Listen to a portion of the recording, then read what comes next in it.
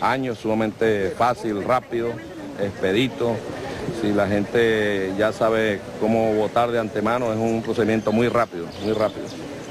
Llegar ahí, entrar en la, en la herradura, toma menos de un minuto de tiempo con toda seguridad. Pues y, ejercer el derecho al voto. Además, garantizado que, que, el secreto del voto, la confiabilidad del voto, que todo lo que significa el sufragio queda, queda blindado, blindado de cualquier margen distinto a lo que debe ser una elección democrática, transparente, una elección democrática que lleve a resultados que sea reconocido por todos los venezolanos y las venezolanas. Y en este caso, en verdad, nos sentimos muy contentos. La situación a nivel nacional, como estaba en conversación con, con el compañero Jorge Rodríguez, que es jefe del comando de campaña nacional en toda Venezuela. Aquí en Monagas estaba lloviendo un poco en algunos, en algunos municipios, sin embargo, sin embargo ya ese tema ha ido superándose un poco, ¿no? sobre todo en el municipio Caripe, en Acosta también estuvo, estuvo lloviendo.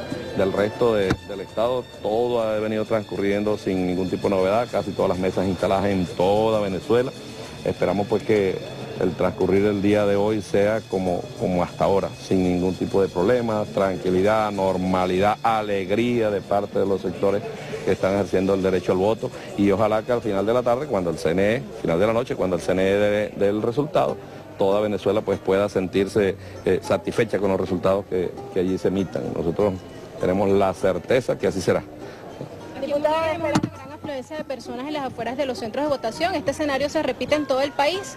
Sí, hay una, gran participación, a pesar de que ustedes saben que este tipo de elecciones es históricamente una de las, de las más eh, golpeadas con, respecto al tema de la participación. Siempre la elección presidencial es la que atrae más gente, luego gobernadores y esta, pero aquí hemos observado, pasamos por varios centros de, votación ahorita desde Maturín, por La Cruz, por el, San Vicente, por el Corozo, la Candelaria, hay gente por todos lados el que no está votando está ahí chequeándose en el punto rojo, el que no está chequeándose en el punto rojo ya votó. Hay una gran alegría, además como el proceso es muy rápido, como el proceso es muy rápido, la gente no tiene necesidad de hacer aquellas colas kilométricas a las cuales han sometido los venezolanos hace 30 años.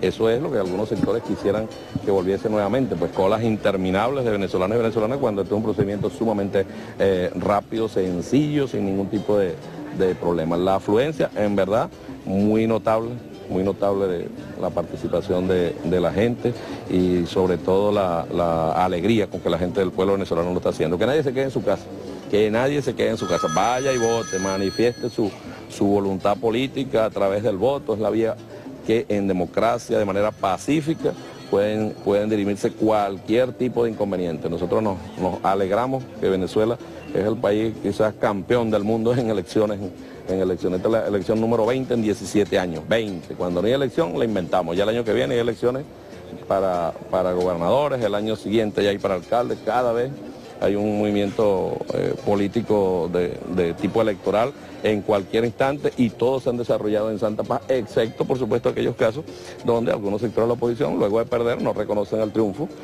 no reconocen el triunfo y han llamado a la violencia en varias ocasiones, inclusive no solo en el momento de la elección, sino en fechas posteriores. Ojalá eso no se repita más nunca, se respeten los resultados.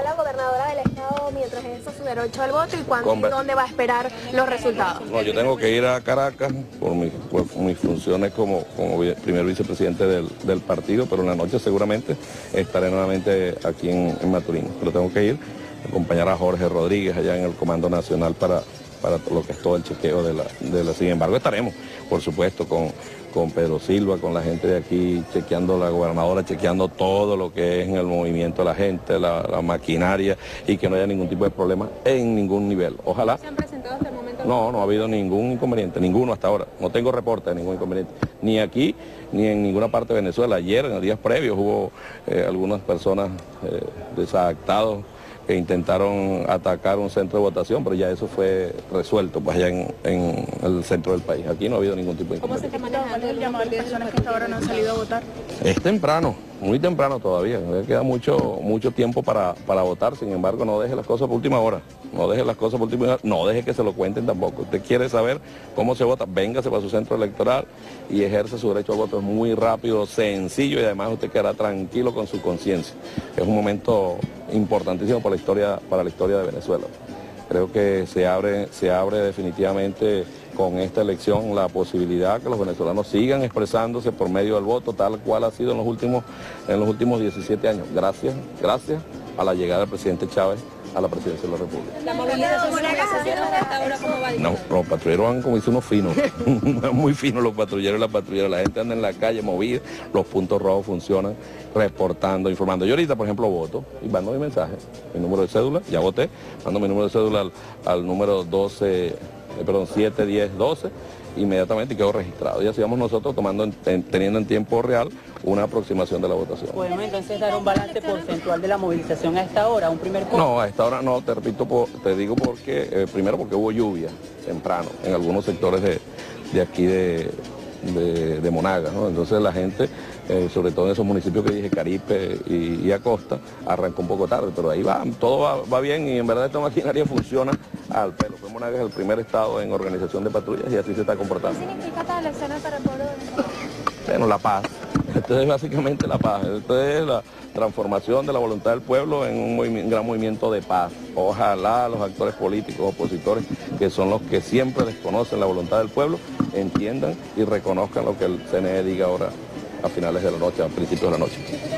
diferencia que los opositores no saben cuáles son sus candidatos listas, ya ejerciendo su derecho al voto están preguntando por qué Si están equivocados que voten por la, lista del PSUV, eso sí no tiene pérdida.